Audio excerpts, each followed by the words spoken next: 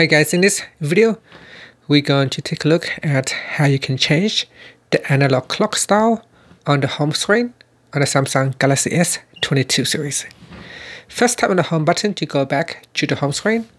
Now if you have already got an analog clock on the home screen, you can touch and hold, then tap on settings. Next in here, in the style section, swipe across and select a style that you would like to use. And from here, you can also choose whether to use a white or black background.